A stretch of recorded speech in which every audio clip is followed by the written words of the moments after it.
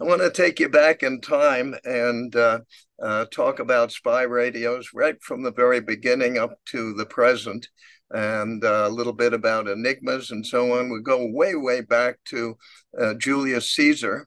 And uh, he didn't have radios, but he used uh, an encryption method called the Caesar code uh, in which he transformed one letter into another letter so that uh, if anyone captured his messages, they couldn't tell what the messages were all about. And uh, you sort of fast forward from Julius Caesar to the Civil War. And in the Civil War, that was the first war in which they really started using uh, telegraph.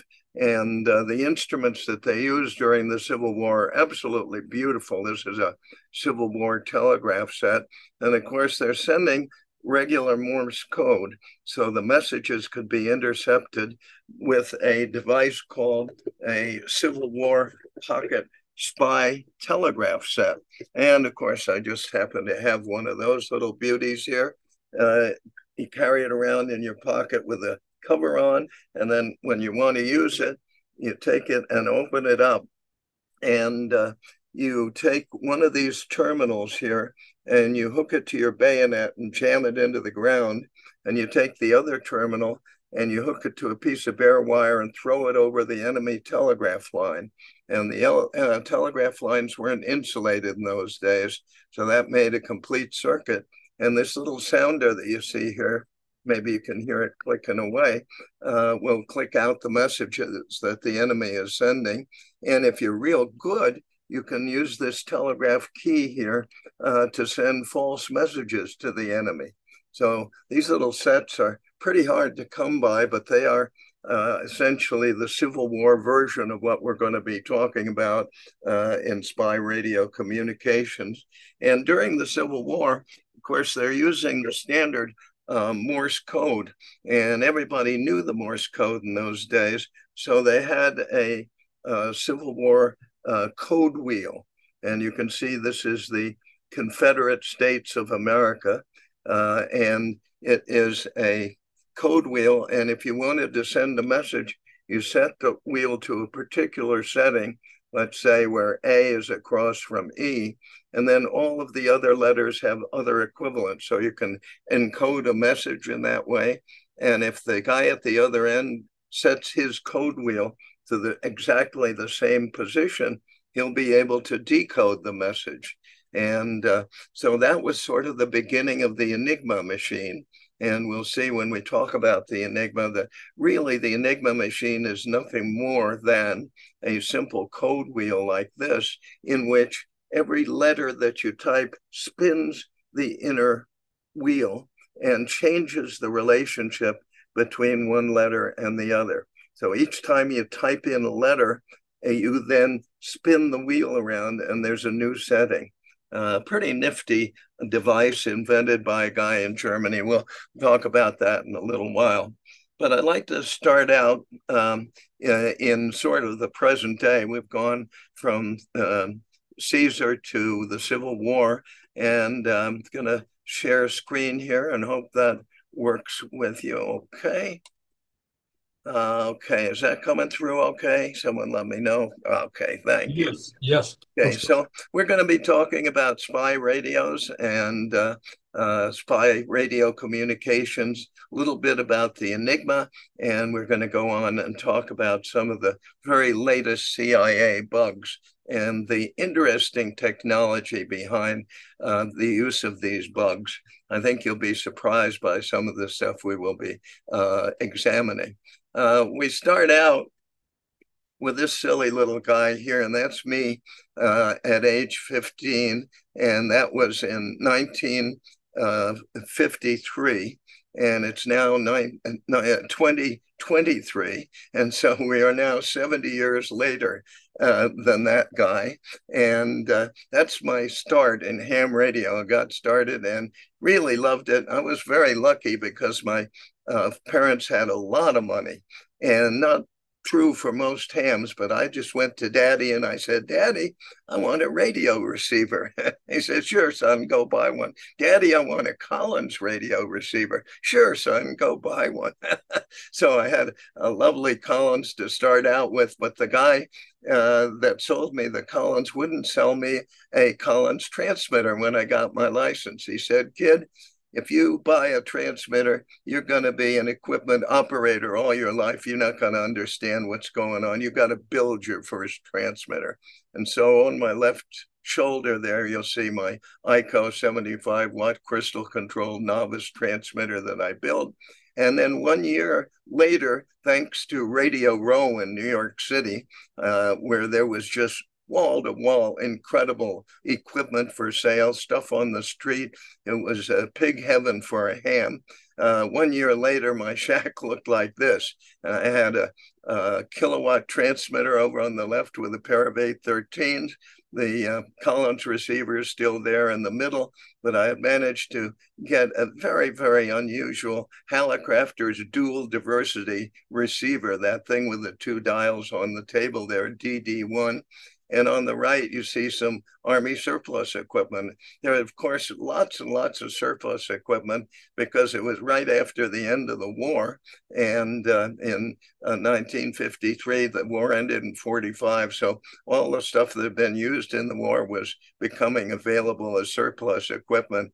And I really enjoyed picking up all these various pieces of equipment, spy radios, and fixing them up and using them. So let's just start out uh, with the reason that you need spy radios in the first place and talk about the German occupation of France as a, a typical occupation, which uh, uh, an army comes into a country and just takes over the country. And here are the soldiers coming in, and the soldiers, of course, needed a place to live, so they threw all the furniture out of the apartments that they didn't want in the apartment onto the street, and they took over the apartments. Of course, the people in these countries don't like that a whole lot. And uh, the um, population generally splits up into three different parts in the uh, aftermath of an invasion. The citizens either do nothing, uh, just sort of sit there and watch what's going on, and they continue to do nothing during the war, but a small number of those citizens get so upset that they form a resistance movement in which a bunch of them get together and try to work against the invading army. And that's what we see on the left there the resistance, the patriots. They become involved in active fighting and in spying. And in order to do this effectively in World War II, they had to use radio equipment. And of course, very few citizens know how to use radio equipment. So they couldn't just receive news and send intelligence using radio equipment. First of all, they didn't have much of it. secondly, they didn't know how to use it. So you need to have trained radio operators dropped into a country after it's been invaded to help the resistance with their communications. And the British down on the bottom here, trained clandestine spy radio operators, parachuted them down into um, France and other occupied countries where they helped the resistance and sent information back.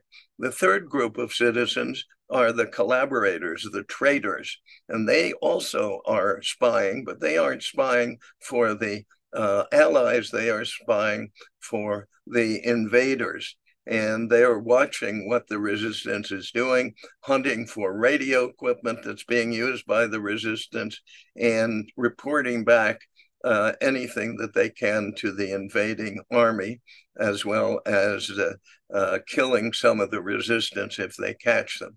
So you have these various factors going in a given country, and uh, here the uh, resistance uh, actively fighting against the invaders um, they put uh, explosives on the railroad tracks, anything they can do to dissuade and disrupt. And at the same time, they're also taking photographs.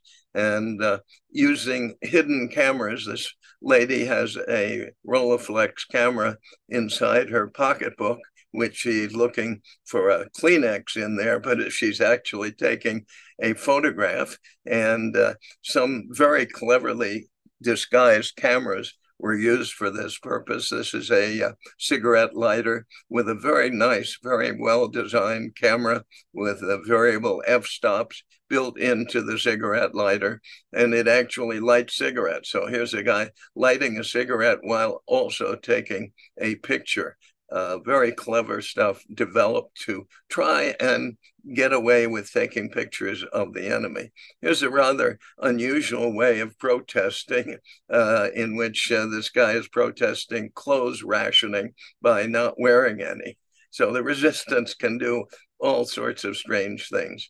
Um, we'll focus in on clandestine radio receivers, first of all, and these were necessary in order for the resistance to get information about what was going on in the war and to find out what the uh, Allied forces, England and America and so on, uh, needed to know. And uh, the clandestine radio receivers were absolutely forbidden in Europe uh, by the Germans. And if you were caught with one, there was no question you were just hustled off and shot. Um, therefore, they were hidden pretty carefully. Here's one uh, hidden inside a suitcase, a couple of plug in coils to change frequency, and uh, earphones. And when you close up that suitcase, it looks fairly innocent. Uh, on the top, we see a normal looking uh, electric iron a telephone book and the leg of a piece of furniture. And on the bottom, we see the, uh, the iron uh, showing a two tube radio built inside it, the telephone book with a radio built inside it, and the, the furniture leg with a radio built inside it. So, all sorts of different techniques were used to hide the radios and still have them available uh, radio phonographs were uh, were a good way to do this. A phonograph looks pretty innocent on the left, but if you take it apart, you see a radio built into it, and the same thing down on the bottom. The phonograph on the left looks totally appropriate. Whereas if you look a little closer, you find that uh, it has a radio set built into it. These are all receiving radio sets. Um, on the left, a Brownie camera and a thermos bottle, and on the right, the inside of the Brownie camera showing the radio, and um, the inside of the thermos bottle showing the radio receiver. Uh, here's a rather unusual one um, using the uh, uh, um, false teeth in a person's mouth uh, hooked up to an antenna with a diode receiver. And strangely enough, if you impose an electrical voltage into a person's mouth, uh, the person, if it's a, an audio frequency voltage, a person will be able to hear the sound. So this is a um, interesting way of using that rather unusual physiological uh, phenomenon. Um, this was the most widely used of the uh, radio receivers by the resistance. It's called a sweetheart radio receiver. And uh, many hundreds of these were made and parachuted down into Europe. They were made in Europe, in uh, uh, England, and parachuted into Europe. Uh, there's a little tuning dial on the left, and the receiver parts on the left here, a battery compartment on the right, and a pair of uh, uh, plug-in earphones um, is in the tray in front. And uh, of course, these radios had to be hidden too. And here's a, a sweetheart radio hidden inside a clock.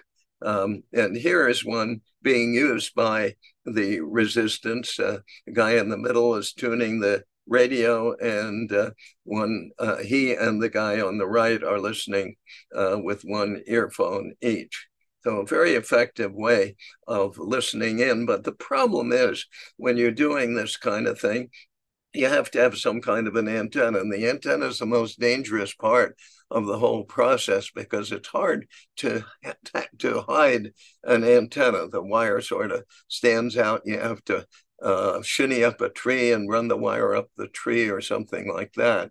And uh, that is one of the ways that uh, these guys got caught most often is when they were foolish enough to hang a wire from a house out to a tree and uh, somebody would spot it.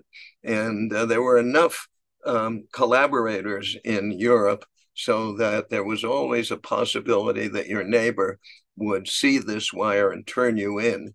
Uh, so quite a bit of danger uh, in doing this. Now, interestingly enough, uh, the Germans provided every single German person who wanted one with a receiver.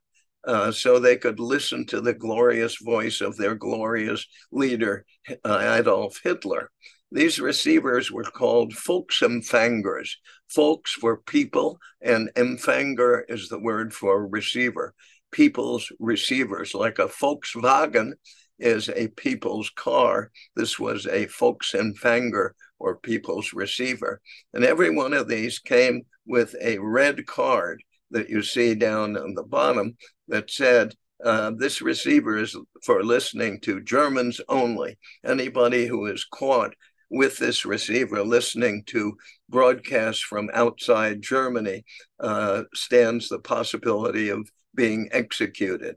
So don't tune your receiver outside of Germany. And interestingly enough, the Germans would transmit a high powered signal on the frequency of the BBC, British Broadcasting Company, that most of the people who were uh, resistance fighters uh, in Germany wanted to listen to.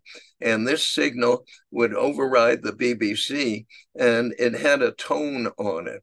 And the people were warned that if they heard that tone coming from their neighbor's apartment, to turn in the neighbor because that neighbor was listening to the BBC, an illegal station. Um, an interesting approach to spying on your neighbors in that way. Any anytime that tone came out of the receiver, uh, and it did anytime you listened to the BBC, uh, you stood a good chance of being caught. And of course, most people would keep the volume way down.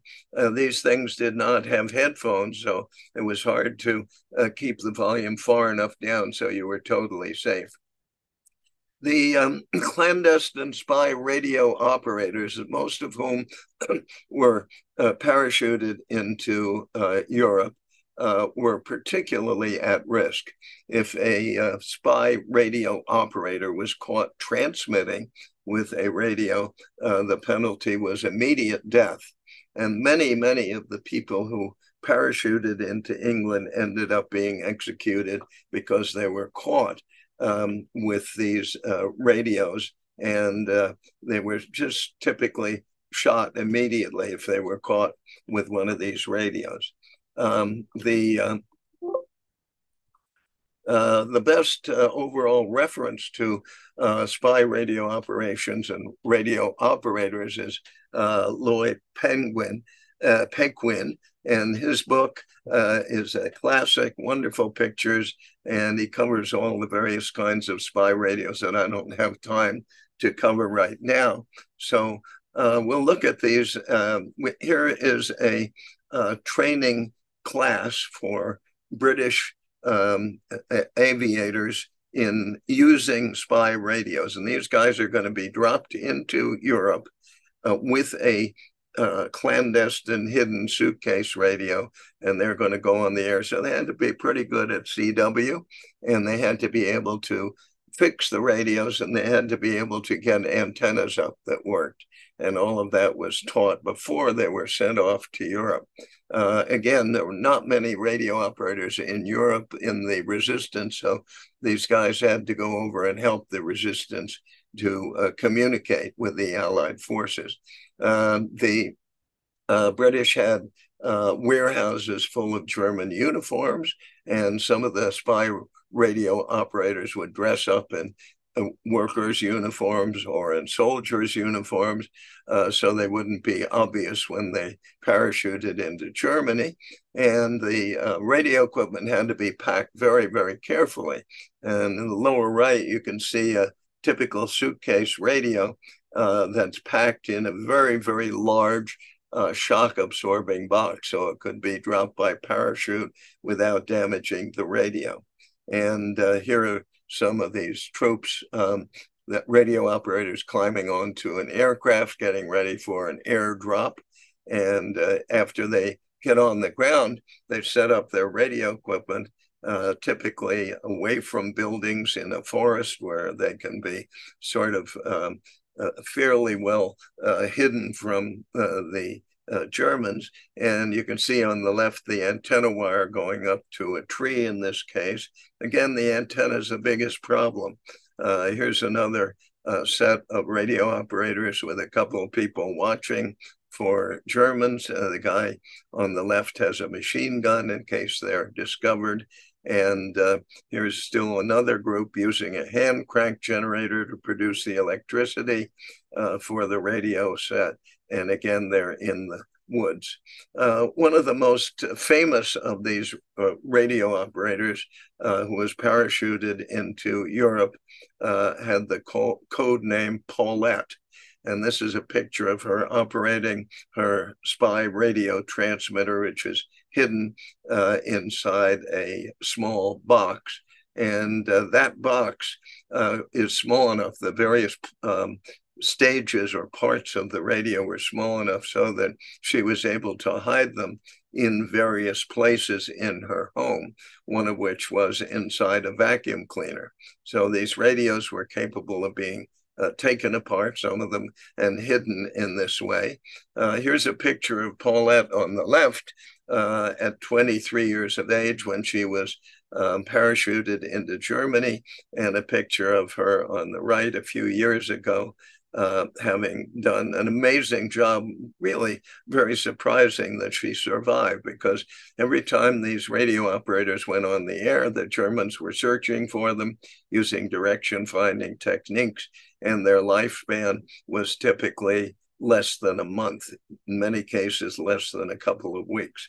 Uh, Paulette sent half hour coded reports and then ran far away from her transmitting location, knowing that she would be found by the direction finding teams, the German team, within one and a half hours. So she had, if she was lucky, an hour to get away. And she managed it. Many, many, many of the radio operators did not. Here's a picture of her carrying her suitcase radio.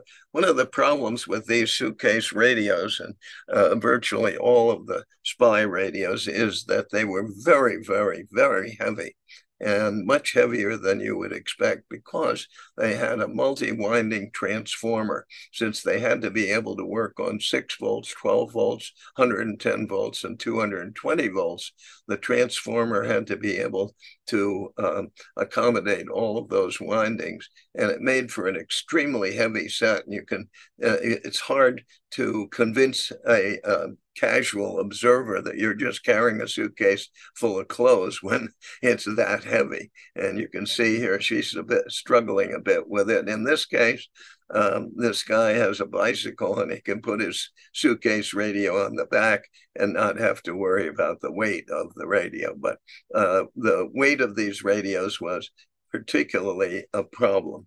Here are some of the uh, spy radios that were used uh, by the resistance during World War II. They are chronicled in a wonderful uh, book by Louis Meulstee and Rudolf Staritz. And the book is a classic, but it's very, very expensive. there are four volumes in the book, and the fourth volume is on clandestine radios. And you can see a classic suitcase radio down in the foreground there. Um, here's another version of the suitcase radio. Suitcase radio has typically a receiver, a transmitter, a power supply, and room for a few of the parts, such as a telegraph key and headphones, and maybe a spare tube or two and several crystals. Um, this is a radio known as the Paraset, and it was specifically designed to be dropped from uh, by parachute to the resistance. They used metal tubes, and uh, it was uh, um, much more rugged than some of the other sets. And it could stand the jolt of a parachute landing better than some of the other sets. And there's a, a wonderful kit that's being produced in France, I believe, where you can build one of these and put it on the air. It's an exact replica of the original Paraset. Very simple uh, radio. Uh, this is the most typical of the suitcase radios. It's a uh, Mark II B2, and it was designed by a ham, G3EUR. and if you look at it, the transmitter is the upper square box that you see there with a coil, uh, tank coil plugged in for that particular band that it's set for. Uh, on the right up there, you see a crystal determining the frequency of the transmitter. Uh, down in the toward you, toward the front of the set, you see the receiver uh, with a band switch for the different bands. And uh, can't quite see the numbers on the dial, but uh, it has a dial and a tuning knob down uh, toward you. And on the right is this incredible power supply that uh, can be used with all of those various different voltages and have this very, very heavy transformer in it. Now, picture this this heavy transformer is on one end of the suitcase, and it's very, very hard to make this hold the handle and have the suitcase not droop down in that direction. So that's one of the problems with these sets. It's a it, it, sort of gives away that it isn't just a suitcase full of clothes whenever you carry it. And you can see the telegraph key is up uh, in the upper right hand corner here. So that's the B2. And we'll take a look at the schematic diagram, really extremely straightforward. Um, on the left, you see the crystal uh, in the grid of the crystal oscillator tube and a bunch of band switches above and below that. Um, and you see the uh, power amplifier uh, that is the RF amplifier um, amplifying the signal. And uh, then uh, you have the plug-in coils over on the right, uh, a place for a telegraph key. And it, it's just a classic, typical uh, radio set. The receiver RF amplifier uh, front end of the receiver uh, has band switches. It's tunable, and uh, it, goes into the um, um, uh, IF amplifiers and the audio frequency amplifier circuit down at the bottom. So you could you could uh, easily design one of these things. One of the nice things about it is it's easy to understand all the stages of this receiver, and therefore it's easy to repair it in the field. And these guys were given uh, instructions on how to repair the receiver, and they got pretty good at doing it.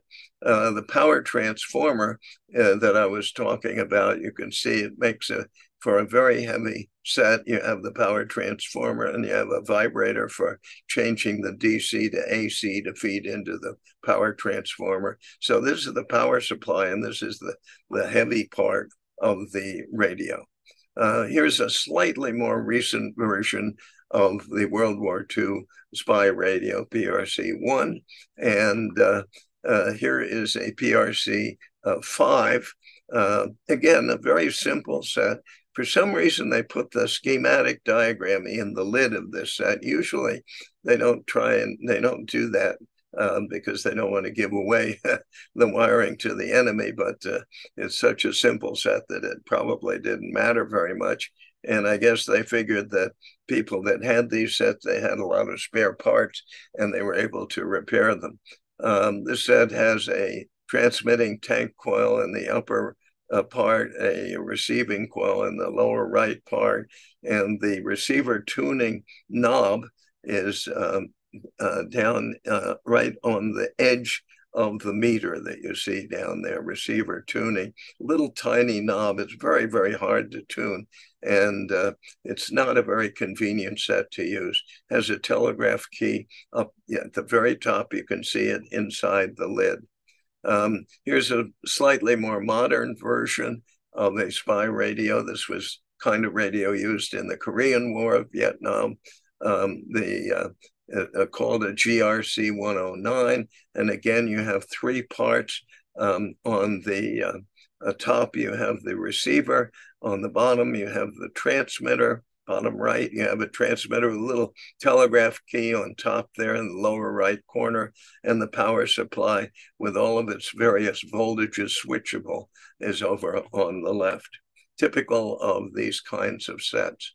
And here's another uh, component set quite widely used in uh, the Vietnamese conflict. Uh, the CIA used them. Many many people used them uh, during that period. Uh, you can see the little telegraph key sticking out of the corner of the set over on the right.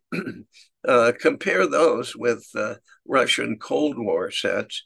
And uh, these sets turn up in large quantities at the Friedrichshafen Hamfest uh, in Germany every year. I go there to, to trade enigmas, and uh, uh, there are just dozens and dozens of these Russian sets, uh, spy radio sets that turn up there. Um, the uh, uh, when the Soviet Union disbanded, uh, a lot of people grabbed those radios and figured they could make some quick money by bringing them to Hamfest, and and they they did succeed in doing that. Lots of strange attempts have been made to to develop radios for special purposes. Here's a, a, scuba radio that was supposed to work by using an insulated wire uh, for the antenna that would go up to a float on the surface above the swimmer, and then an antenna would stick up from that float. Uh, the fact that this is the only known picture of one of these indicates that it probably wasn't very successful. Um, here's another really strange set. Uh, if you think about it, this is a doggy walkie talkie, and uh, you can see the dog is hooked up with a, uh, a, set of earphones over its ears and a microphone, and the uh, the trainer has a microphone, and it it just somehow doesn't sound right. What? How's the dog going to talk to the trainer? Maybe um, the dog talks in in Morse code, woof woof, and in any event, this one didn't get very far either. But it was an attempt at a uh, uh, uh, dog worn spy radio. Um, nowadays, the uh, uh, military is using uh, a handheld radio that includes not only a really nice overall set, radio set, but also the equivalent of an Enigma machine in that the voice uh, that is transmitted can be enciphered. And this is the radio that you see uh, the, the, our troops using uh, whenever they are deployed, made by Harris. It's RF310M, an interesting set. Now, locating the spy radios is a whole nother problem. Uh, for the Germans, they had incredible direction finding devices, uh, both mobile and body worn. Here's a mobile direction finding truck that was used to drive around in the streets of Paris, for instance, looking for and listening for uh, spy radio transmissions. And the antenna on top of the truck could be rotated, that thing that the red arrow is pointing to, uh, to help them localize and get a bearing on the radio transmitting station. Uh, here's the guy inside the truck rotating the antenna and listening for a null uh, with his earphones. Uh, the way a direction finding system works is you really need two of these trucks, and each truck gives you a bearing from the truck to where they hear the radio station coming from, the sender. And the spot where these two bearings cross on a map tells you quite accurately where the transmitting station is. So you got to have two of these vehicles out there, and uh, their bearings cross, and you find the uh, the transmitter. Um, there are also handheld direction finding sets that the Germans uh, developed and the Americans developed. Uh, this one is built into a suitcase. You can see it has a, a loop antenna, and simply by rotating the suitcase, you can uh, identify the location or the direction to the spy transmitter. If you have two people with suitcases, you get a much more accurate fix. Um, but that was one technique. And then the Germans developed this uh, direction finding system, and it's hidden. So this guy looks just like um, a, a, uh, a, typical uh, officer uh, walking around, or maybe even a civilian just walking around in his in his raincoat. And then if you um, open up his coat, you see that he has a radio. So if he does a flashing act, you can see that the radio receiver is strapped around his waist. That's pretty well concealed. You see a little bulge there, but not horrendous. And the antenna for the receiver goes down the two arms, his two arms there. And when he's walking along, uh, his arms essentially are the direction finding antenna. And this little device, which looks like a wristwatch on his wrist, is the signal strength meter. He doesn't want to have earphones because that would be pretty obvious. So he uses a signal strength meter to uh, determine when he his body is pointing toward or away from the uh, radio station. By walking around, he can get several bearings and locate the station. So, body worn direction finding sets were used by the Germans, the Allies, uh, and the Russians uh, to help locate spy radio transmitters. Um, when a spy radio transmitter was located, uh, if they got there in time before the spy transmitting uh, agent left, uh, he would be shot. And so it was important not to let them locate these people. And one of the techniques was to send transmissions in very, very short bursts, not to send a five minute or even a one minute uh, Morse code message, but to send a one or two or three or four or five second uh, Morse code message. And uh, nobody can send Morse code that fast. Uh, so it had to be done automatically. And here was one of the early attempts to develop a technique for sending Morse code extremely rapidly. If you take the stylus that you see down below and you run it down each of these vertical columns, um, it, it makes contact and essentially sends a Morse coded letter. So you can run down, let's say you take over on the left, you can see dot dash, the lighter part being two copper points in there. Uh, when you run the stylus down there, you're going to get dot dash or A. The next one to the right, dash dot dot dot or B and then dash dot, dash dot, or C. And you can do this very rapidly with this stylus so that your transmitter is not on the air for very long. And that means that a direction finding uh, truck with a rotatable antenna uh, doesn't have time to really zero in on your message. So that was one of the techniques. And that technique was improved uh, by using uh, various kinds of automated signal transmitting, where you could uh, transmit messages at uh, 75 or 150 words per minute uh, with uh, a moving tape or film. Um, the other technique that was used with spy radio was, of course, to encipher the messages. And there were lots of techniques for enciphering messages. Um, the uh, hand techniques involving a code book uh, were quite widely used, um, in which, for instance, you see here a message that was hand enciphered and transmitted by Morse code to the British. Um, and it was enciphered using a, uh, a book uh, to identify what each of those letters is. And uh, some of the messages were had to be hidden inside objects like uh, this walnut shell hid a, an enciphered message. And uh, here's a German spy who was caught in Britain. Uh, and uh, when a spy is caught in, in England or in America, um, they're typically given two choices. One, you can cooperate with the British or the Americans and keep on sending transmissions, and we'll tell you what to send and we'll be sending false transmissions back to Germany, and it'll seem just like you're sending them. Or the other option, we'll kill you. so uh, uh, Tate was one of the people who decided, okay, I'll send the messages for you.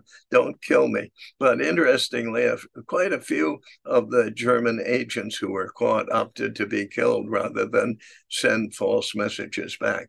Um, Tate used a code wheel because Enigma machines are really too heavy and too big for a, a secret agent to carry into a country. And uh, they code wheel work uh, quite effectively in very much the same way that the Civil War code wheel uh, worked that we saw earlier. Um, German spy controllers did use Enigma machines to keep their messages secret and send uh, messages to each other but they did not use enigmas to contact the spies directly. So the enigmas were used uh, to send messages from one spy controller to another. And they were so totally and completely convinced that the enigma was completely secure that they used the enigma uh, to tell each other what the location of their spy was. Uh, we have a guy on uh, 32nd Street and Fifth Avenue in New York City, for instance. They just gave that away. And of course, in England or in America, um, being able to decode the Enigma messages um, allowed the Americans and the British to go directly to the spy's location and arrest them and give them the choice either you die or you send messages for us and uh, uh, so this uh, technique uh, worked so well that it is believed that every single German spy that came into England and communicated with uh, the uh, Allies, um, with the Allies, was caught. Uh, every every spy in England was supposedly caught. I don't know if it's true or not, but it certainly makes sense since the Germans were giving away their addresses, names, and addresses uh, in Enigma code, and um, the Enigma had been cracked. Um, three Polish mathematicians initially um, discovered how to crack the Enigma code. And when Poland was overrun, they gave that information to the British, and then the British started breaking the Enigma codes. Um, the Enigma codes were used by all branches of the German military. And uh, this is a picture of the British agents uh, listening in on Enigma messages. And the Enigma machine itself is really uh, very straightforward. You type a letter in on the keys that you see in the front of the machine, and uh, the electric voltage from that key goes through a wiring complex and into the uh, light bulb panel, and it lights up a letter on the light bulb panel that you see behind the keyboard. So all that an Enigma machine does is say you type in a letter like T and it changes it to a different letter like V and lights up the letter V on the panel. Um, if you were to encipher the word Enigma, E N I G M A, on a Enigma machine, it might end up uh, being XPTQFK uh, a complex combination of letters that would be exceptionally difficult to decipher unless you had another Enigma machine. And if you have a second Enigma machine that is set the same way as the first Enigma machine was set, then typing in the ciphertext uh, word XPTQFK would reconstitute back into the word Enigma. So a very neat machine and I've been collecting and restoring and fixing Enigma machines for 40 years now, and I'm pretty darn familiar with them. Uh, they are basically not much more complicated than a flashlight. They have a battery, a switch, which is the key switch, and a light bulb. so it's sort of like playing with flashlights. Um, in New York City, uh, spies were operating, and this guy uh, made it look like he had a ham station. Of course, hams were forbidden to transmit during World War II, but uh, this guy uh, was transmitting, and uh, he was caught by a direction finding team in New York City.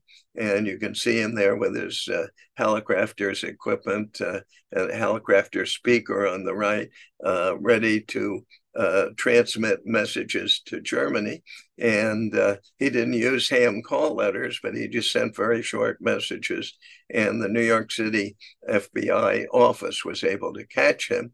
He was actually located on the top floor of this apartment building. So he had a very easy time putting up antennas. He just ran the antenna up inside the chimney so it wouldn't be visible. And that was the classic uh, way that most of the spy radio operators who operated indoors set up their antennas. They would simply run the antenna up inside the chimney where it couldn't be seen from outside. And uh, so at the end of the war, uh, the uh, people were given back their radios. They had all had their radios confiscated from them. And uh, uh, the war ended and went transitioned into the, the Cold War. So that's a um, sort of a short summary of spy radio. And I just want to go on and talk about the Cold War and the CIA bugs. I think that you'll find it uh, quite interesting. Um, this uh, research was done by two uh, people in the Netherlands, two hams, Paul Reuvers and Marc Simons, and they have a museum, uh, a virtual museum, cryptomuseum.com. And uh, just give some of the information that they worked out. Uh, spies typically need to listen in on conversations. And one of the classic techniques was to use a hidden microphone uh, disguised as something. And this is a typical picture of a microphone disguised as a wristwatch. And with a long sleeve shirt, the wire could go right up inside the shirt, and you couldn't tell that this was a microphone. It'd be quite hard to tell. Um, lots and lots of pieces of clothing were used to hide uh, microphones. There's a hidden microphone uh, and radio transmitter that was hidden inside a neckband, uh, necktie. Um, this is a, a CAT scan of the inside of a CIA bug in a pen. Uh, this is a fountain pen that has a radio transmitter inside it. And you can see from left to right the battery, uh, little microphone that picked up sound in the room, and then a couple of transistors at the transmitter, and the antenna was that little short piece of wire off to the right. So all fit inside a fountain pen body. Very neat and uh, quite a challenge in those days with discrete components. Nowadays, you could have surface mount stuff and have it one tenth the size. But uh, uh, in those days, this is pretty small for uh, discrete component transistors. Um, another device that turned up is a, a phone tap.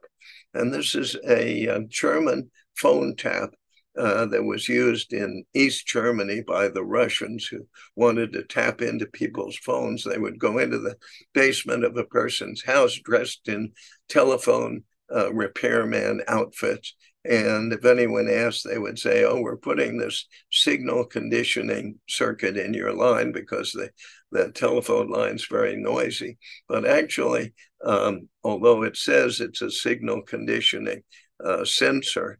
It is actually a phone tap. And basically, a phone tap is just a, a bunch of condensers that uh, uh, isolate the uh, circuit, the outgoing audio from the telephone line. So you can't tell that the phone line is being tapped because there are capacitors, no, no change in the DC uh, resistance of the line. Um, here's another KGB bug a very, very simple circuit in which the uh, microphone actually directly connects to the tank circuit of the transmitter. And you can see over on the, the left, uh, in the middle drawing here on the left is the microphone. And you can see it's directly connected to the tank circuit of the transmitter.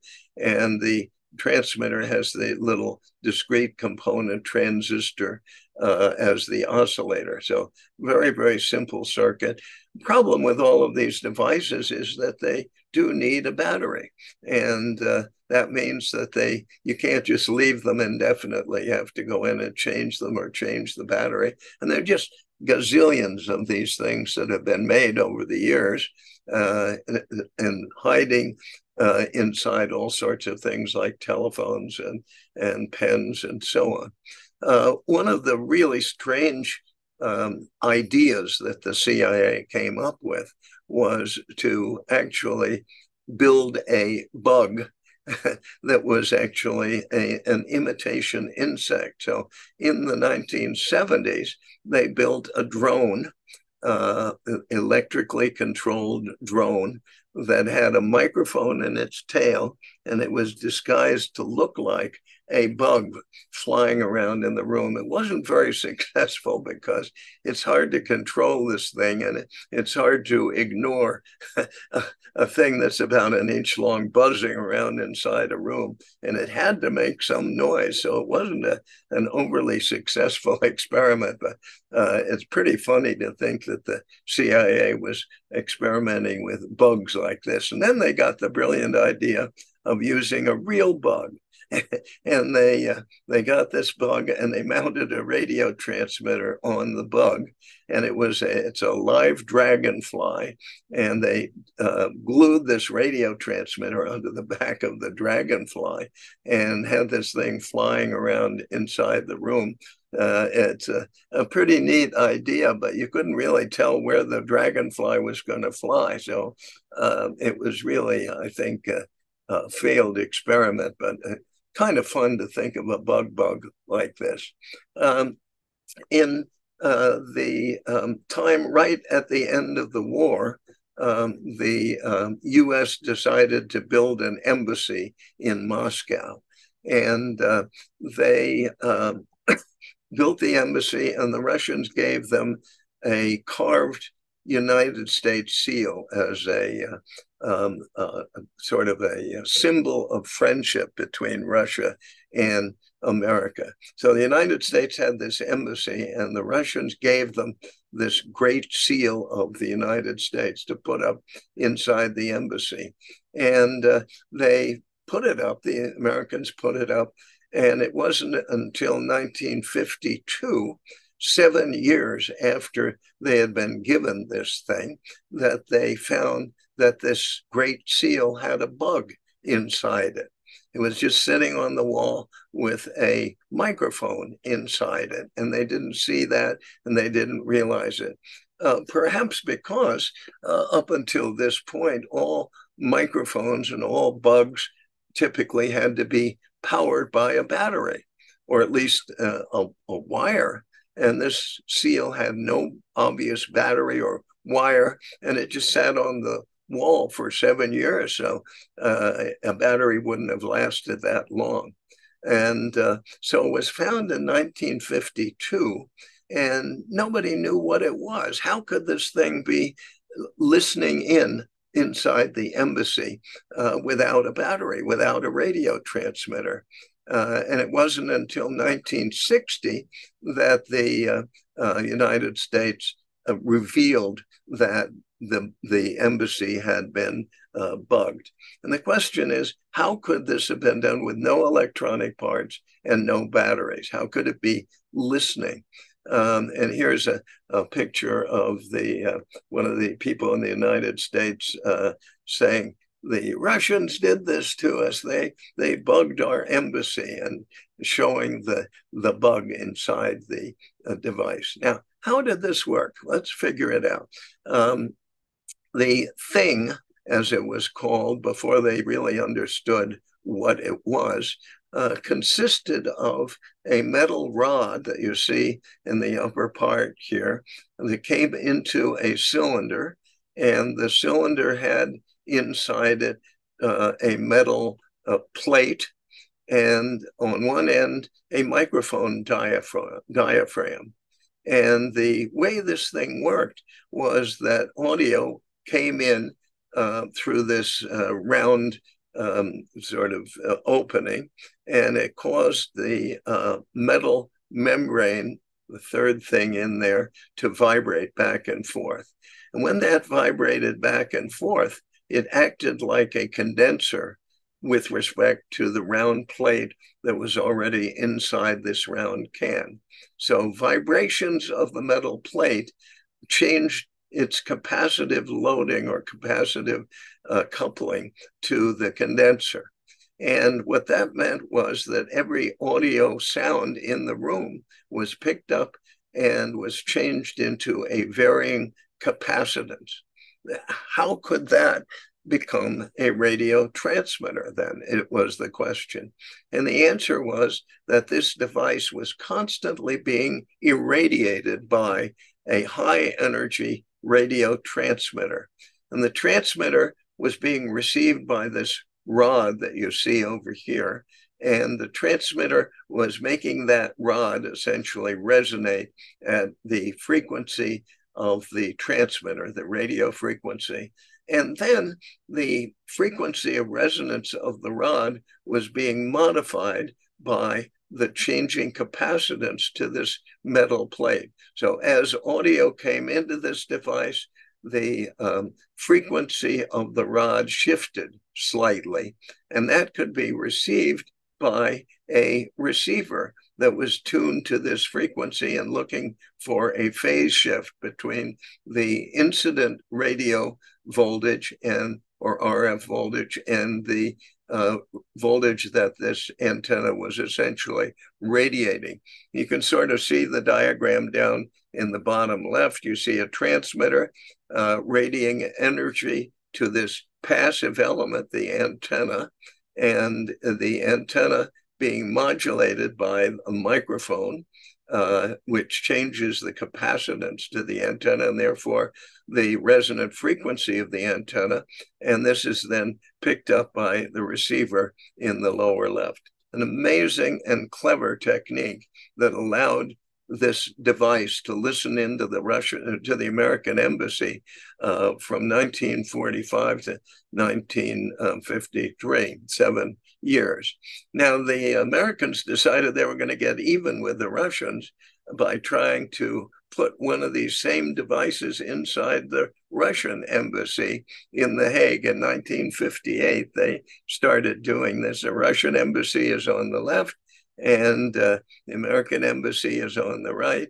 And they were, the idea was if they could get one of these devices into the Russian embassy and radiate it with power signal RF from the building on the right, then they'd be able to detect the audio in the room in the Russian embassy.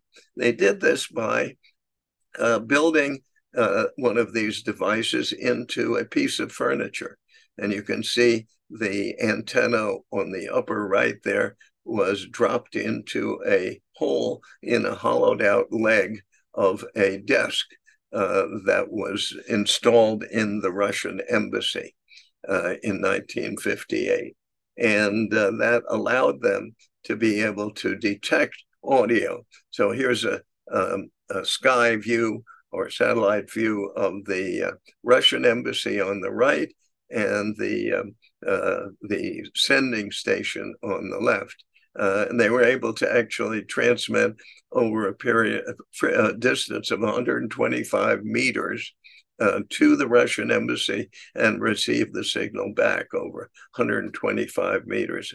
Pretty hefty. I guess that's the equivalent of uh, four, roughly four football fields, a, a fairly hefty distance. And uh, here's a picture of the um, the the um, uh, American embassy in which the transmitter is located up a flight of stairs, and they were shooting through a window with a directional antenna, and the antenna uh, allowed them to increase the a 500 watt transmitted signal that they sent out uh, by 14 decibels, and that allowed them to have an effective radiated power, ERP, of 10 kilowatts. So they were radiating the Russian embassy with 10 kilowatts of RF energy to uh, resonate, cause the uh, re- resonating of that antenna in the leg of the table, which allowed them to pick up uh, the audio from that room. And uh, if you remember, in uh, 2016, it was discovered that a number of US diplomats and CIA officials that had been posted in Cuba and China were beginning to complain of all sorts of problems debilitating headaches, vertigo, nausea, memory loss, dizziness, tinnitus, and other symptoms. And it is now believed in the 2020 issue of the journal Science magazine, uh, they reported that the National Academy of Sciences concluded that the pulsed high energy radio waves probably caused the syndrome. This is known as the Havana syndrome, and it is most likely, I think, that the Russians were getting back at us uh, by bombarding the uh, diplomats wherever their quarters were with very, very high RF energy. And that was producing physiological effects on the people in those embassies. So, with that, we'll call it quits and uh, open it up to questions. And I hope you've enjoyed our little quick run through. I'll stop sharing here and uh, we'll see if we can get back to normal. So that's that's my story, and I'm sticking to it. helps if I unmute. Okay, let me, we got a hand raised by Gene. Go ahead, Gene. Yeah, good evening, everybody. Uh, this was a fascinating trip down memory lane. While I was uh, first joined the army, I was served in uh, served in Germany. This was still during the Cold War, and as the wall was falling down, after Desert Storm, we came back and had a opportunity to go to the border of Berlin, East and West Berlin. And on the uh, western side, there was a museum called Checkpoint Charlie's. And it showed a number of the uh, pieces of equipment that you just uh, showed and talked about, along with some other stuff too about how what people used to uh, escape East Germany from. But uh, amazing uh, presentation. And about during the entire time, I was thinking of myself back in Germany at that time. Now was in 1991, just as the wall was coming down. But they still had rules and regulations as far as East and West goes. Great job. Thank you. Yeah, they've turned a lot of those um, uh, former KGB headquarters into museums, and uh, several of them are called terror museums because they always had a killing room in the headquarters where they had a drain in the floor for the blood, and they would just kill the people that they uh, wanted to kill. And uh, there's a lot of radio equipment uh, that the Russians left behind, uh, and an incredible number of tape recorders. Apparently, every everybody they brought in as a suspected whatever um, was exhaustively interviewed and taped before they were killed. And so there's just miles and miles of recordings of the interviews with these people. Um, so it's been turned into a museum. One of the most interesting museums that I went to over there was a Russian missile silo. Uh, and they, uh, they Russians had left. They took the missiles, but they left everything else.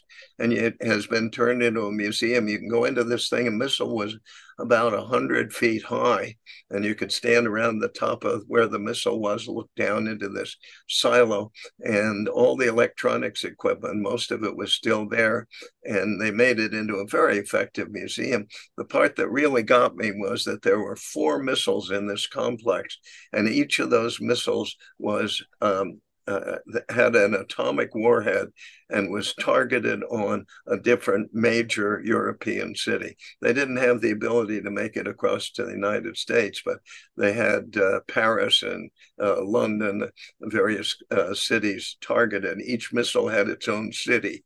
And I guess from the looks of the darn thing, it would have wiped out the whole city if they had let it fly. So yeah, there's a lot to see over there. Right here in the United States, we uh, basically sold them and people turn them into underground condominiums. Yeah. Okay. Anybody else? Looking for hands. Looks like we got a something going on there with Paul. Paul, are you you're clapping. You're not there's your hand. He's clapping. Um, back in uh, many years ago, I used to work for a very large uh, corporation that is now all but debunked, and that was Eastman Kodak Company. And in Rochester, New York, I don't know if it's still there or not, but they have a museum, and in that museum is all the different spy cameras and how they use them that they uh, uh, that they made. You know, you know, stuff for ties, stuff for all kinds of stuff. Anyway, uh, it's interesting stuff. Looking for more hands. Yeah, if you ever ever taken a trip to Europe, almost any of the countries that were occupied uh, have uh, resistance museums now, and you can just see wall to wall incredible, wonderful little tiny things that the uh, resistance built, radios and so on, and and cameras were were uh, widely used. It's it's just amazing. Um, you know, and you think that was all going on back then. Today, it's still going on in some fashion or another. And with technology being what it is, God only knows what the stuff looks like. Maybe it's a, a, a button on a shirt or something. Who knows? Okay. Well, uh, we just hit right at the hour. Good timing. I don't see any more questions. Hands up. There's really nothing in chat. There's some statements, but no, uh, no actual uh, comments. So, at any rate, with that in mind, we'll shut her down for the night and get ready for tomorrow night. Thank you, everybody, for showing up and being here. Tom, thank you very much once again. You give great presentations. Really appreciate you, sir. And thank you for running this, all of this, Dan. You're just amazing. Trust me, I have a whole crew behind me. I, I sit in front of the camera, but the people behind me do all the work. Well, okay. thanks to all of them. 73s, everyone. I'll see you tomorrow, hopefully. And uh, uh, and again, Tom, hopefully we can have you on again. You give good presentations. yeah. All right, 73s. Bye bye.